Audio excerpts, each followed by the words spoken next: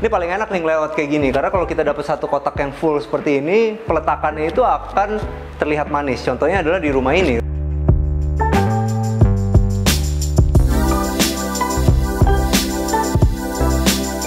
dan gue suka bener-bener keren arsiteknya di situ dia kasih kamboja jadi ketika kita lagi batapan di sini tuh bukan berasa di Surabaya bro berasa di Canggu iya yeah, kan